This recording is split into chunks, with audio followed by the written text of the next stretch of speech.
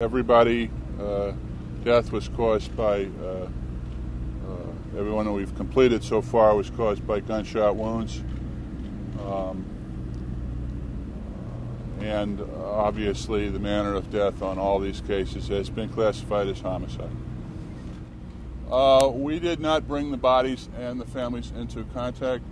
We took uh, pictures of them, um, of, of their facial features. You have uh, uh, it's it's easier on the families when you do that. Uh, there is uh, a time and a place for up close and personal in the grieving process, but to accomplish this, uh, we felt it would be best uh, to do it this way. And I've been at this for a third of a century, and it's my sensibilities may not be the average man, but this probably is the worst I have seen are uh, the worst um, that I know of any of my colleagues having seen.